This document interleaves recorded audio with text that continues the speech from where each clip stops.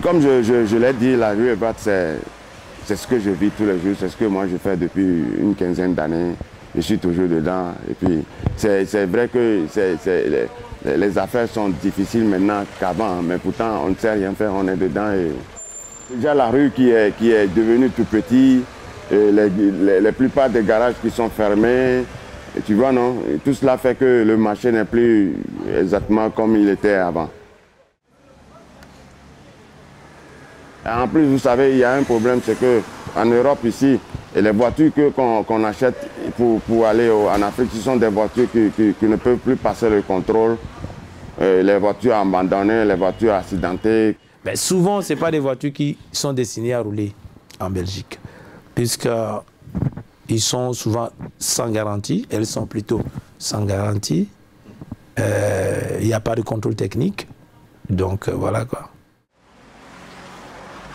L'Afrique est riche, on a tout, on a tout, on a tout, le diamant, de l'or, un peu de tout, tout, tout chez nous pour avoir de nouvelles voitures. Mais la gérance de l'Afrique fait que les gens n'ont pas les moyens, ils sont obligés de, revenir en Europe pour prendre les voitures qui ne, qui ne peuvent plus passer le contrôle.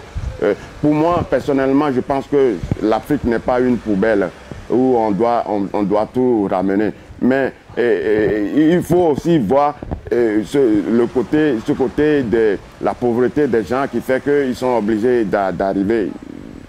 Non, je ne sais pas, je sais pas. Il faut vraiment un changement. Il faut vraiment un changement. Il faut vraiment un changement.